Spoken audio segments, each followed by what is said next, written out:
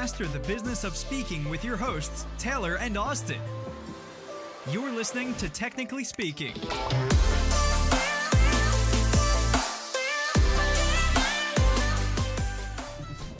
Welcome to another episode of Technically Speaking. Now, today we are super excited to have London Speaker Bureau's very own Maria Franzoni. Maria, welcome to the show.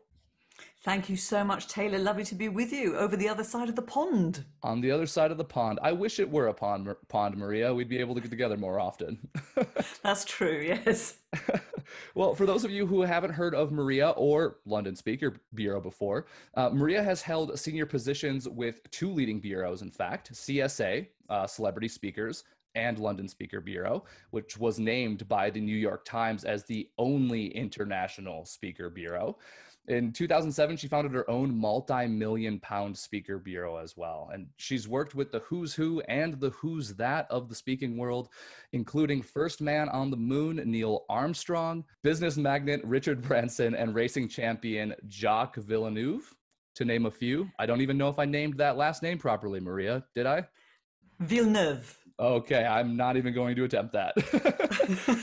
Maria is the former co chair of the European Association of Speakers Bureaus, director of We Do Things Differently, cultural change consultancy, founder of Speaking Business Academy, and host of the Speaking Business podcast. So, for our listeners who have listened to the Speaking Business podcast, you are familiar with Maria. And if you haven't yet, we'll definitely provide some links below. Maria, it's so great to have you on. Um, I think, you know, our very first question that we'd like to ask is how did you get started in this crazy world of the speaking industry? Tell us about your history and, you know, how, how it came to be. Do you know what? Honestly, Taylor, it was a complete and utter accident. So um, it was, honestly. So I had started, I, would had several careers. Um, I had been in retail management, um, then I had gone into management consultancy, then I had gone into uh, what we call educational travel, which was about bringing foreign students, adults at that time, into the UK, um, and general management in that role too. And then um, I wanted a new challenge and I saw a really cryptic advert that said, you know, can you uh, negotiate at senior level? And I thought, well, you know, I've sat opposite CEOs of, of, you know, Fortune 500 companies and told them what to do without their companies and what's going wrong. And I thought, of course I can negotiate at senior level. And of course, it was talking about negotiating with some of the great names out there. You mentioned Neil Armstrong, who was somebody I had the joy of working with, negotiating with that kind of person and also with obviously the counterpart, the client counterpart, who again usually was quite senior.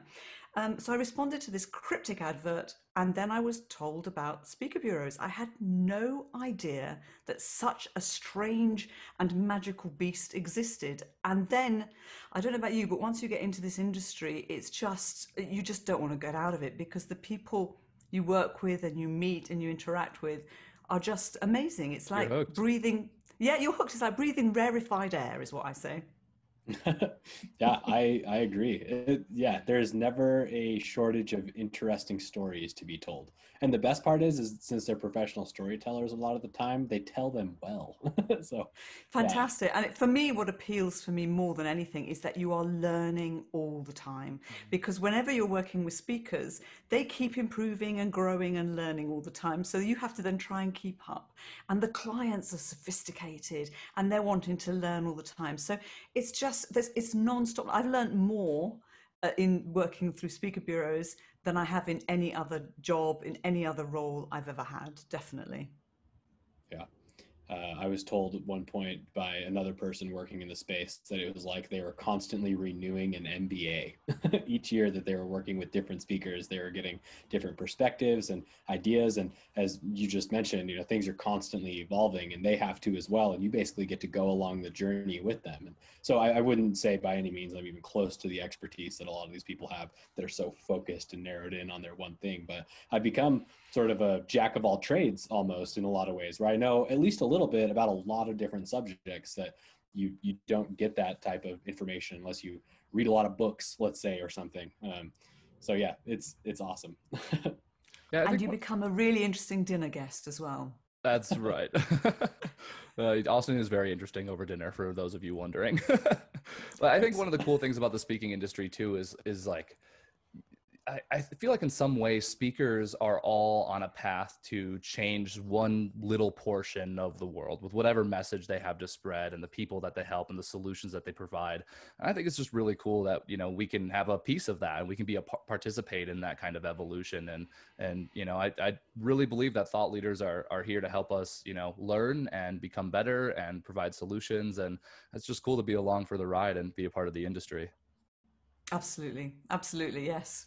So it's great. let's talk about your bureau background. So, how did you get started with LSB? And I know you responded to that advert, but you know, what was it like getting started in the bureau space, and how did that evolve into you know your multi-million pound bureau? Well, well, actually, I started with CSA Celebrity Speakers, who were probably the longest, um, most established business speaker bureau in Europe. Um, and I had the joy of working with the founder, um, Alex Krywald, who sadly is no longer around. He's passed away. But he was an amazing brain. He really understood the industry and he really understood that you know the value that a, an expert could bring to a client and really thought about it from a business point of view so it was great learning ground um, and then i was sort of poached by london speaker bureau uh, which was great. Um, and when I joined them, they were quite small. Was only about six or seven people actually, and then over time it grew and grew and grew. Um, and uh, it's lovely that you're saying multi-million pound because probably most people um, listening on your side of the point think of dollars, don't they? So a pound is still more valuable than a dollar. That's um, right. So point that out. Know, yeah, yeah, right. don't know. Don't know at the time of this going out. It might change. I don't know. But anyway, let's see because we're going through a few changes here, as you know. So let's see what happens there. But no. So what happened is that um, I worked with the London Speaker for several years, um, helped them to grow, um, helped brought people in, helped train people. They had huge success. Um, you know, made made a lot of changes. It was really wonderful. And I, if you know me, you know you will know Taylor and you will know Austin, I'm a bit of a control freak. I like to be in charge and I liked it. and as the organization got bigger and bigger and I wanted to sort of have things going this way or that way, you can't, you have, can't take everybody with you to make certain changes. So I actually spoke to the founders, the, um, the two founders and said, look, you know, I really want to have my own business again. I'd had my own business in the past. I want to do it again, not getting any younger. I want that challenge. And they said, for goodness sake, do not go out in competition with us. We don't want you to do that. Why don't you have the only UK based licensed office, as you as, as they call it, and you can be a, a, like a an external innovator who will help us to see other ways of doing things. And it's interesting because when we started, uh, it was 2007 uh, that I did this. When we started, we were both sort of in parallel and going in the same direction. And as you tweak and change things slightly, you find that you've far more distance. And sort of, I've, I've moved away and, and I'm doing slightly different things, which complement London Speaker Bureau and vice versa. So it's actually been a really, really good relationship, and it's worked for both of us really well. That's fascinating. It's pretty impressive too that they, uh, you know, offered you to be in the same market that they're in. I mean, obviously, London Speaker Bureau is global at this point, right? But at the time, was it that way, or um, you know, were you really just operating in that same market together for a while? Well, actually, it was global at that point too. Not as many offices as there are now, um, but uh, I actually didn't. I wasn't restricted to the UK market, uh, and I'm still not. So I could work anywhere across all the markets. And it was a bit of an experiment, and it was a bit of a risk, but it was an experiment and a risk that paid off. For me, it paid off. It allowed me to have my own team, to be creative, to scratch that entrepreneurial itch that I've always had all my life. I've always wanted my own business. I've always I've had my own business in the past. I like to do that. Um, but it also, you know, as I said, allowed me to try things in a smaller organization so that then if they worked they could be replicated. So it's worked incredibly well. And um, and i think we're going to go into a new adventure soon as well. I can't say too much more yet. Ooh, exciting. Sitting on the edge of my seat. I'm a little bit curious just because uh, these terms get thrown around a lot in this space, but how would you make the distinction between, let's say, a bureau and an agency? How, how are they similar? How are they different? And if you had to pick a label, which one would you call yourself? Yeah, and that's a really, really good question. I'd add another one into the mix. I'd add a manager in the mix. And you know mm. what? It's all blurred it's all blurred. It used to be very distinctive. It used to be that a manager would manage every aspect of an artist or a, a, the talent or the speaker or whoever it happens to be. They would manage every aspect of it. Um, and then um, an, an agent would have more people potentially and they'd have other people and they'd usually specialize maybe it might be for their television it might be for their books it might be for their um, uh, you know their speaking and the agent's job was basically to to sell them and get them work. Uh, whereas the manager was managing everything and looking maybe strategically and, for, and looking forward.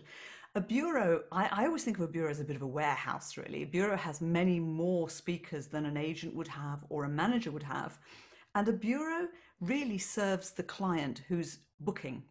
So it might be a corporate or a business uh, or a government or whatever, an organization coming to you to find a speaker.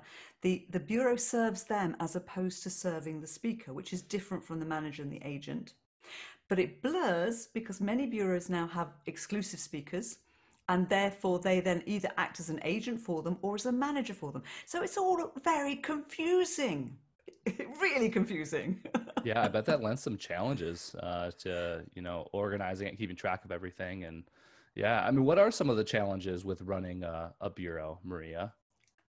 Um, oh my goodness, there's so many of them. I think uh, the biggest challenge is the volume of work. Uh, bureaus, even now, even through uh, you know pandemic, uh, we're busy because of the space that we're in. You were mentioning thought leaders. That's exactly the space that we're in. Mm-hmm. And whether you're in a pandemic or not, you need advice, expertise, thought leadership. That doesn't change. It just changes. What changes is how it's delivered. Instead of being delivered on stage, it's it's delivered the way we're doing it now, the way we're communicating now.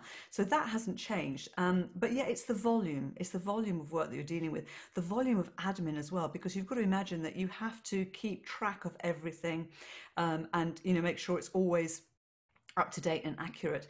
And if you've got a whole if you've got several thousand speakers on your roster, you've got several thousand speakers' profiles to keep up to date. And as I said earlier, they tend to grow and learn and do more and start more businesses and, t- and write more books. So that is a huge job, just keeping up with the people you're representing and keeping up to date with what they're talking about and the expertise that they deliver. That actually, that's probably the biggest challenge, keeping up to date. It's just a huge job. Yeah, I mean, yeah. talking thousands of people that you have to keep track of. Yeah, we've got about four and a half thousand at London Speaker Bureau, which is a modest number actually, because many bureaus have many more. Uh, the bureaus that do much more management and exclusivity will have fewer, um, but we tend not we tend to have a small number that we manage exclusively, if you like, and then the rest are are not exclusive and can work through other bureaus too. Definitely, that, makes, makes sense. sense. Yeah, um, oh, go ahead, Austin. I'm I'm curious. yeah, I'm, I'm curious uh, about something that you you pointed out a minute ago. We we say speakers all the time, uh, the speaking industry and and so on, and we have. I mean, a distaste might be a little bit too strong of a word, but we have a bit of a distaste at times for people that call themselves professional speakers. Because really, if you're an expert, right, speaking is just one channel that you can leverage as a thought leader. So from your seat, I mean, how, and I don't even know if you can quantify this or not, but how many of your speakers, quote unquote, would you say are just speakers, meaning they just get on stages and travel around and or maybe through Zoom or whatever it may be, and aren't also consultants and coaches and authors and podcasters and running workshops. And uh, do you have any pulse on how many of your speakers are solely speakers versus how many are thought leaders in a more general sense. Yeah, and you know, I could kiss you because I totally agree with you with the speaker thing. You're lucky yeah. you're not in the same room, so you would have got kissed.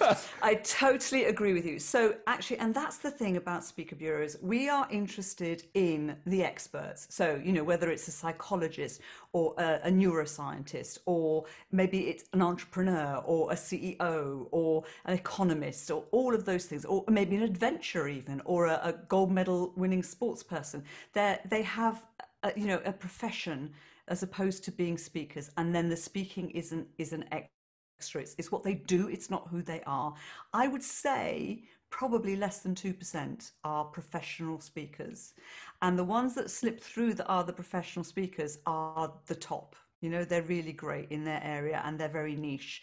Um, but that's the whole point of bureaus. We really are more interested in people who are out there doing it or have done it and therefore they've you know they've got we say in the UK they've got the t-shirt because they've done it and therefore they can talk about it that is way more interesting than somebody that speaks only Mm. Definitely. That's fascinating. Have you noticed a drop off in the people that call themselves, like, let's say, a motivational speaker at this point in, in the past few years? Because I imagine that somebody that is really out there to inspire may have a little bit harder time selling themselves through a bureau if they're not an expert in one specific area. Or is that a, a misplaced assumption on my end? No, well, for the last two and a half years, I've been training speakers, and one of the first things I tell them to do is do not lead with motivational speaker, keynote speaker, right. um, international speaker. Don't lead with that. That is not what you lead with. You lead with what either the result that you bring or the expertise that you have. Um, and the problem, the thing is, if you look at a, um, a conference program, for example, and you see all of the speakers lined up, and they're calling themselves motivational speakers or keynote speakers. How do you differentiate between them? Which one you're going to listen to? So if you look at our speaker bureau roster and you have a lot of speakers on the screen and you're looking, they've all got some kind of headline. Either about what they deliver or about what their expertise is or their past is. So, if you're leading with motivational speaker or keynote speaker, you're missing a trick, and also it's just too generic. And actually, Austin, the other thing that bugs me is that most people don't even know what a keynote is, and yet they call themselves a keynote speaker. That's right. Ah, yeah. For, Yeah. for our listeners. Maria, what is a keynote? Let's define that really quickly. Okay, for our Um, I think there might be Yeah, for our listeners. So I feel like you know some some people might be listening to this and, be, and their entire world is getting turned upside down because they're like they're like looking at their LinkedIn profile, they're looking at their emails, they're advertising themselves as as keynote speakers and so on. Um, so we'll talk more about the thought leadership and, and how that plays in. But I'm, I'm curious. Let's let's define keynote for a moment. In your in, in your from your perspective, Maria, what, what's the definition of a keynote? Okay, so from my perspective, usually a keynote, usually a keynote is either an opening speaker or a closing speaker, and the role of the opening keynote is normally at a conference to get bums on seats. It's to get people to turn up on time, people to show up, and to set the scene for the conference. So that could be either somebody who's a, a celebrity because people will come and, and have a look, a celebrity in that field, or somebody who's a leading industry expert, really setting the scene and really setting the theme of the event to come, so related to the theme. And then the closing keynote, usually, if it's somebody who's a big name or a celebrity, they probably won't sum up what's happened during the day or two days of the conference. They may just, their role may be to send people off feeling a certain way or, um, uh, you know, having some, some kind of strong message to go away with. If it's not a celebrity or somebody that's a big name, often that closing role is to sum up the event um, and to sort of leave people with, you know, what's next and what they want to take away. So that's my definition. You can have a keynote not necessarily at the beginning or the end, but it will usually be based on the theme of that conference and there'll be a specific role to it. And not everybody is a keynote speaker. Not everybody can keynote. It, you have to have really strong stage presence, really strong messaging, really strong content to be a keynote. And they usually get paid the most, which is why everybody calls themselves a keynote. Interesting. Do you think that dilutes the market and makes it harder for companies and conferences and events to select speakers? What, because people call By themselves everyone. keynote. Yeah, because everyone's calling themselves a keynote speaker and it's hard for them to differentiate who's who, Um, I, I don't. that. I don't know if it, it dilutes the market. I think it makes it more difficult. It does Mm. make it more difficult to choose if there's no. But also, how do you remember people if everyone calls themselves a keynote speaker and they're all cookie cutter versions of each other? You have to be unique. You have to differentiate. And if you go to a conference, I know we probably have. None of us have been to a, a live conference for a while, but when you do go to a live conference or even a Zoom conference, there will be certain speakers that you remember and others that you won't and they'll be memorable for for reasons that, that, that are why they get booked again and again. They'll be memorable because they've given you some kind of strong message that you can either act on or you feel differently or or you're thinking differently. They have some effect. They move an audience from a to b. That's the job of a speaker moving from a to b i think. So I'm curious, like, as you know, somebody running a bureau, um, obviously you're looking for new speakers all the time that can, you know, deliver that awesome stage presence and blow the client's mind and make them super happy and deliver the results that they're looking for, whatever they may be. So, when you're selecting a speaker, what are some of the things that you look for that that are telltale signs that somebody's going to do a great job and that you're going to be very happy that you you put them in the the list of recommendations when a client comes to you asking for a speaker?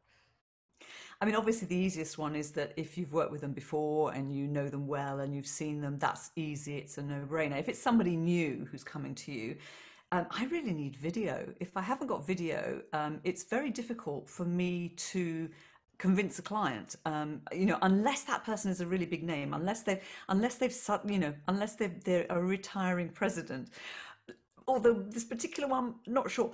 But, you know, so if somebody comes out from being a president or a prime minister or a head of state, you don't necessarily need a video because obviously they're known. That if somebody is known, they don't need it. If somebody's coming in and they're needing to, and they're competing with other speakers, they need good video. And it's amazing how many speakers don't have good video. Um, and obviously, now in this age where we're virtual, um, they also need to look great virtually all the time. Wherever they show up, they have to look great. Um, I mean, obviously, people can't see us on the podcast, but we're all looking fantastic. Yeah, that makes sense. So when you've been looking at uh, videos historically, right? And uh, let's let's separate just for a moment here the the COVID world that we exist in, where everything is virtual. But if, let's say it was you know end of 2019, and the speaker was coming to you saying, "Hey, I'd love to be on the roster," and they sent you a video. Um, I think something that a lot of speakers we talk to sort of obsess over is production quality. Like they're almost afraid to show a video that wasn't done by a seven angle camera setup with super good, uh, you know, mics and everything. And I know that that can be an indicator that somebody really knows what they're doing and they probably have resources behind them too. But have you ever watched a video without that production quality with somebody with a great message and you're like ah yes that person or does that production quality of a really good demo reel or something does that matter to you? The production quality does matter. Um, it doesn't have to be seven angles. It can be just one piece to camera um, you know but it has to be good. It has to you have to have good sound and you have to have good visuals because that's what the client needs to see. They need to, to see you um, looking good and sounding good. And if, if we're spoilt we're spoilt these days with you know uh, netflix amazon prime whatever you're watching. I know there's lots of other brands available too because i shouldn't be advertising i suspect. But you know we're spoilt with high quality and high definition. So it doesn't need seven cameras at all but it does need high quality. And high quality for me says okay you know somebody's successful. We do we, you have one chance to make a first impression and if you turn up with your, you know, iPhone uh, quality, you know, blurry, poor sound, lots of background noise video, that says to me, you know, mm, not very professional. And, and as I say, one chance to make a, a good first impression, I'll remember. I always remember the bad ones, always. Yeah, it says a lot about your intent too. You know, when you go in with a little bit of higher production quality, you're not using an iPhone. It it has this symbolism to it that you care about the what what you're doing, and I think that that matters to the clients and obviously you know bureaus. Um, you know, I am I am curious though. We get asked this a ton about how speakers what's the right way speakers can approach bureaus because i think it, especially for people who are just starting out or maybe who are a few years into the game and maybe they've been trying to sell themselves and they've been booking some gigs eh, I think everybody wants the support of a bureau in their back pocket to know like they're being talked about and they might get some gigs to come through. Uh, what's the best way for a speaker to approach a bureau? Is it through direct outreach? Hey, Maria, I'm a speaker. I'm an expert on this. I would love to have a conversation. Is it coming to a showcase? What's the best way for, for you to be approached by a speaker who is interested in becoming a part of a bureau? Or should that happen organically and the bureau go to the speaker instead? the best way is the bureau going to the speaker. That doesn't always happen necessarily, but uh, the the big, big mistake most speakers make is they don't do their homework. So they will be listening now and they'll think, "Oh, Maria runs a speaker bureau," and they'll contact me. Don't do that. Do your homework. So not every bureau is suitable for every single speaker. So I had a lovely chat today with a lady who's got a really interesting, you know, niche, really interesting area of expertise. And I asked her who her own clients were, and I said, it's not the right fit for me. So do your research, research the bureau, research who are their clients, what are the real main topic areas that they're talking about. I've given away what kind of bureau we are at the very beginning. Let's see if anyone was paying attention. So if you're not the right fit, then you should not approach that bureau because you're just wasting their time um, and they're going to say no. Um, and then when you do the research, where do you fit? Where's the gap? Who are your competitors who are already on that roster that you can say, listen, you have this person and that person. I fit there. This is how I'm different to them. Know your competition. And most speakers don't do that at all.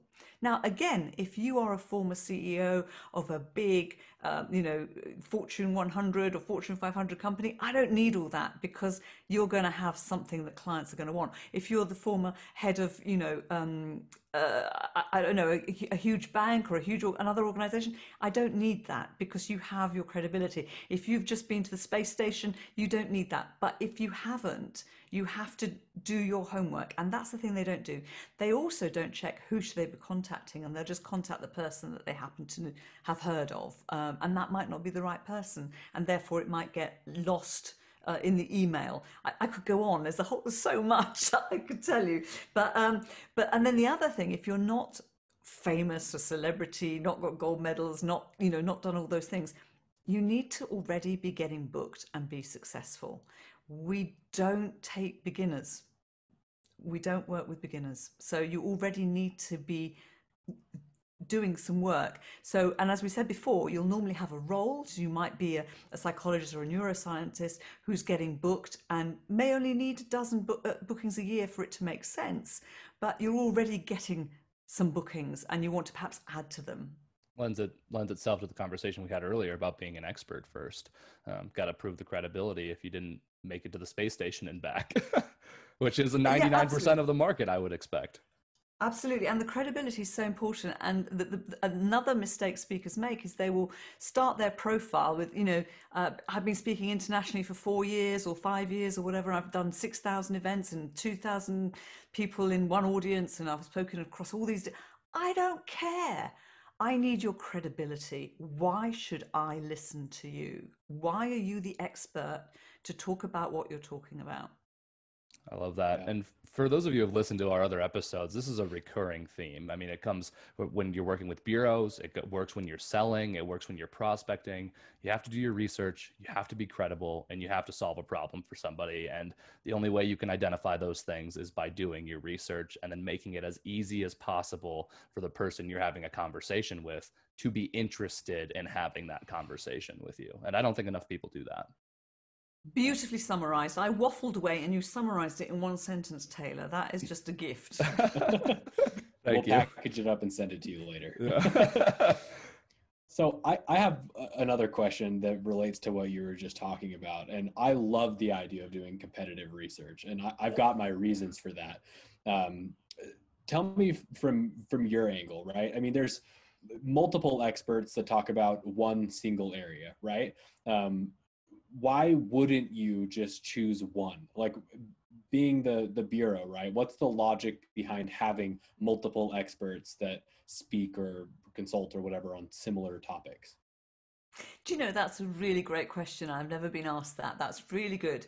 So, what's important is it's always about the client and it's always about the client and the audience. If you've got one and that person isn't a great match, because you have to match them really well, we're matchmakers. We have a great understanding of the speaker and of the audience and the client. So we sort of know, right, this is going to be a great fit. So if I've got one futurist and that futurist is very controversial and provocative and uh, you know his his his style is to go in and really you know sort of prod you to react but my client is looking for somebody actually i want to have a view of the future that's really positive because I had a really bad time and give us some positives about our industry and I don't want to be provoked, then I can't put that person in. I can ask them to change, but that's their USP. That's who, what they are about. So you have to have different people. Plus, if they are any good, because they are good, they're going to be busy with their area of work. They're going to be busy with speaking. They might not necessarily always be available. Plus, you've got the whole cultural thing. I've got some speakers whose English accent is so strong um, that some audiences won't understand them. um, you know, because maybe they're not native English or maybe they're Scottish. I'm sorry, Scotland, you have a few accents there that are a bit strong, um, and I love you. I love you all.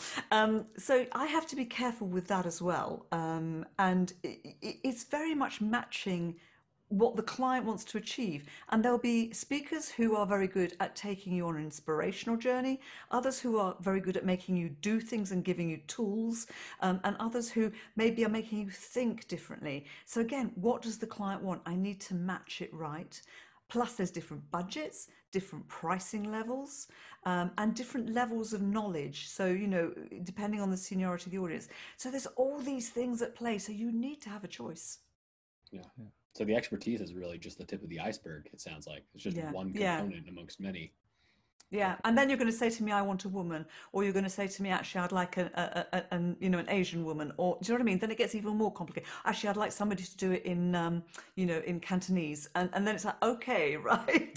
so, so now, it, and that you know, there's these things happen. These requests can become very precise. Yeah. I love this. And I, am just going to bring this up just because it, what you said made me think of this. But I was listening to a podcast the other day that was talking about the the creator of the Dilbert comics. And if anybody knows Dilbert, then um, when when he first started, he obviously was not a big name, wasn't super successful, and he had a really hard time making himself distinct in the market of lots of comic book writers or, or comic strip writers, right? And so he realized, like, no, he's not the best um, comic book or comic strip writer or um, I don't know artist, let's say, but maybe he was in the top 25% of artists, which is good. And you know, maybe he wasn't the funniest person in the whole world, but he was in the top 25% there too. And he also wasn't the best business person in the world, but he was in the top 25% in, in, business, right? And so it's not just one specific area that makes you distinct, it's a combination of different things that only you can have because only you have had those experiences. And by layering these different things on top of each other, it makes it easier for you to stand out in the marketplace. And that's what the creator of Dilbert, you know, credits his success to basically. Um, so uh, if that's helpful for you speakers that are listening out there right now saying, oh, well, there's, you know, 10,000 people speaking on leadership. Well, th- yeah, like you're an expert in leadership, but find other things that you're good at that you can explain to people and to bureaus or to your buyers on the other end or and, and use those to your advantage to make you stand out in a marketplace that is awashed by law experts in that same space. So, Maria, I don't know if that resonates with you or not, but that made me think of it. I like that. That's very good. Thank you. yeah. We've been talking about the perspective of speakers, you know, who aren't working with bureaus yet. Um, let's talk about the perspective of speakers who are represented by some bureaus. Um, what can they be doing to strengthen their relationship with the bureaus they're working with? Because I mean, you're managing 4,500 speakers. I would imagine there are a percentage of them that may go out of their way to keep you updated. There might be a larger percentage who don't. But you know, I I, I think that over t- over time as a bureau, you need to be able to be equipped to sell them and keep the relationship with them. So what what can speakers do that you're generally seeing that they're not doing that can help reinforce their relationship with the bureaus that represent them? I think it's really important to make it as easy as possible for us to to book someone and to um, to work with them. And so, in that respect, we need uh, fast responses. So um, a client, when they inquire, they want to know immediately. You know, you'll always get. I've had it today. I've had it this evening. Uh, th- this is what I want. I want to do. These are the, the, the the events. These are the dates. This is the person I want. I need to know this week. Can they do it? And and what is it going to cost me to have them do it? And I need to know this week. So the client's not going to wait. And what happens is if a speaker isn't responsive, you then go to the next choice or the next choice because the client needs to know now.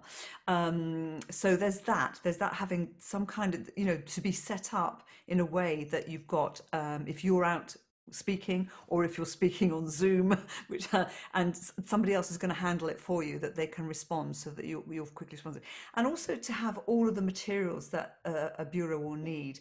Um, many speakers don't actually give you descriptions of how they uh, talk about their topics. So we have to remember that. We might have seen it on the videos, we might have seen them speak, or we'd have to write that out.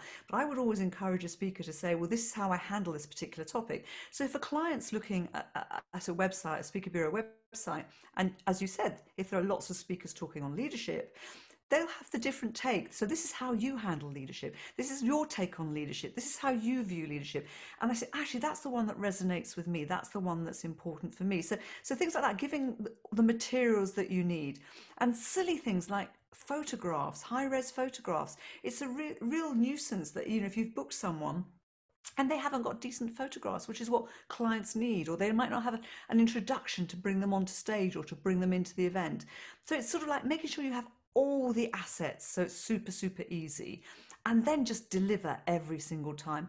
You know, attend the briefing, whether it's in person or if it's on Zoom or on phone call, attend the briefing, really take that brief, really understand it, and really adapt your session so it's appropriate to that audience. Um, so all of those things really. The list the list is huge. Again i'm sorry. Oh, I, I, okay. I, seem to give you lists of answers. I don't give you the i don't give you one thing.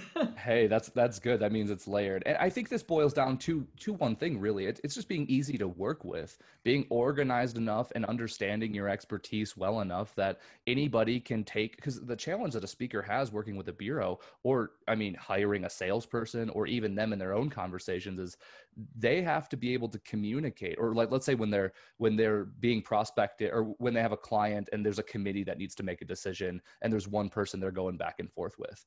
Well you have to be able to speak so clearly and deliver everything you do in a clear concise way so somebody else can explain your value to another person. And if you don't know your value well enough how are you going to teach somebody else to communicate your value well enough to even get booked in the first place? You know what I mean? That's why we that's why we call it get organized, get known, and get paid. The getting organized piece, the most important important piece, is what allows you to get known because then you're getting organized enough to be easy to work with. I think. Hallelujah! Yes, absolutely. You've nailed it. You are so right. Exactly. Spot on. Well, there you have it, folks. That's a wrap, folks. That's a wrap.